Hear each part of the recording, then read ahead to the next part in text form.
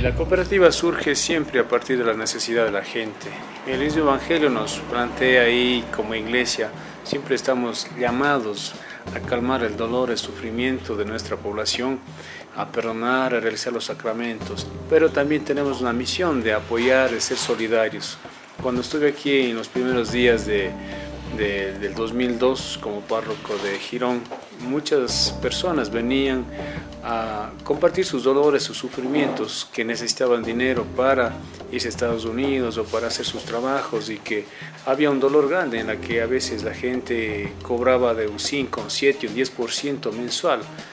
Con una pequeña experiencia que tuve ya de sobre el cooperativismo, asimismo fuimos reflexionando de que era posible en que las mismas comunidad, los mismos hermanos y hermanas del cantón Girón, de las comunidades aledañas, uniendo nuestros pequeños capitales pudiéramos tener un buen capital suficiente como para podernos prestar en condiciones favorables. En el cantón es la primera entidad que apareció con, con sus socios fundadores que fueron gironenses Obviamente en lo posterior hemos trasladado este, nuestros servicios a las diferentes ciudades y cantones como Cuenca y San Fernando.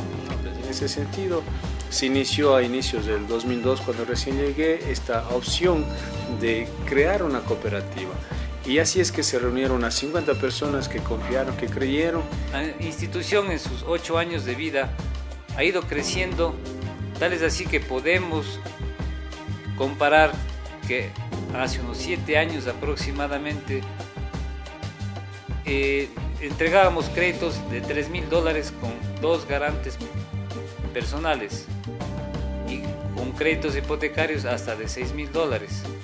En la actualidad estamos otorgando con garantías personales montos hasta de 8 mil dólares y con créditos y créditos hipotecarios hasta de 30 mil dólares.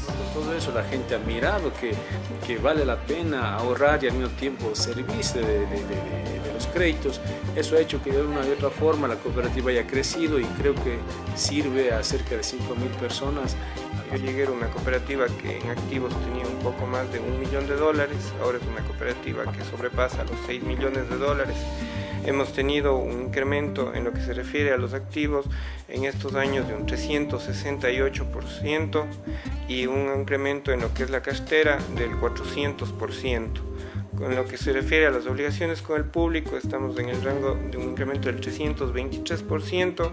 Todo esto habiendo mejorado los indicadores financieros, hemos conseguido mantener la morosidad en este último año entre el 5 y el 6%, lo cual es los niveles que marca el sistema financiero ecuatoriano.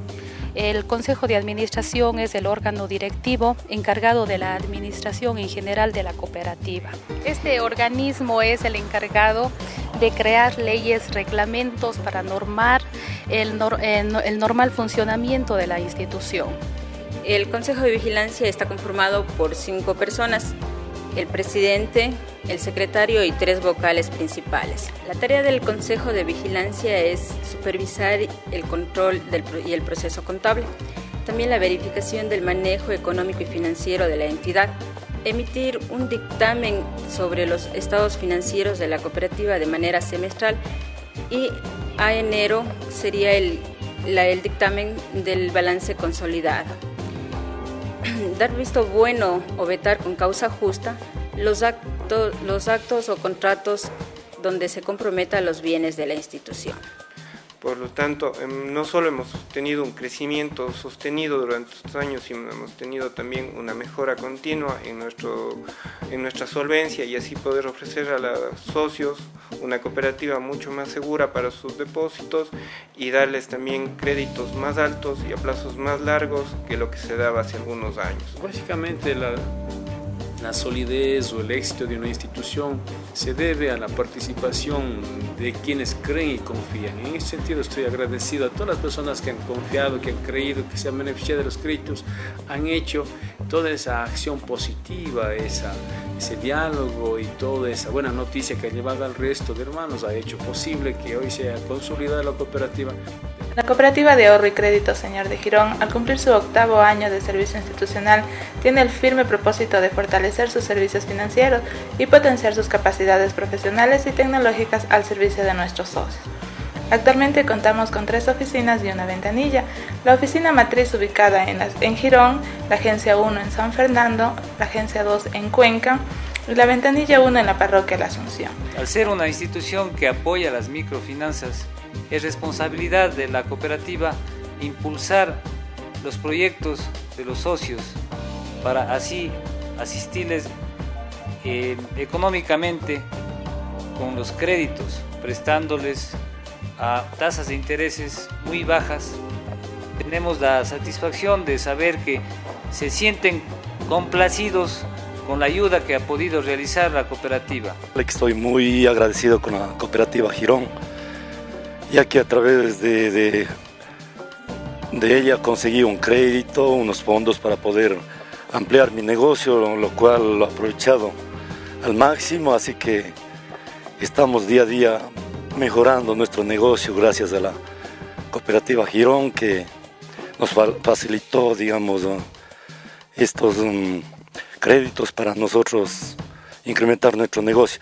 Somos una eh, fraternidad de, personas que se unen a formar una cooperativa, en donde aquí no solamente nosotros estamos interesados en el tema económico, que sabemos que es importante para que la institución surja y crezca, pero nos hemos preocupado también en cómo satisfacer las necesidades de, la comunidad en general. Es decir, a nosotros nos es eh, importante cuáles son las necesidades de nuestra gente y poderles satisfacer en medida de lo que podamos hacer. Una de las misiones de la cooperativa es coadyuvar al desarrollo de la comunidad. Posible servir, si es posible, unir nuestros esfuerzos, nuestros capitales y hacer mucha obra de solidaridad. Bueno, yo creo que hemos cumplido las metas. Hay mucho que hacer. El sistema cooperativismo no tiene un principio de fin. La, la, situación social, coyuntural del país, del mundo, ha hecho que en momentos dados el sistema cooperativo de ahorro y crédito crezca vertiginosamente. Hay otras condiciones mejores que el Estado tiene o que el Estado ofrece. Sin embargo, el sistema cooperativo, la gente sabe que sus dineros, todas las ganancias, las utilidades que da es para ellos.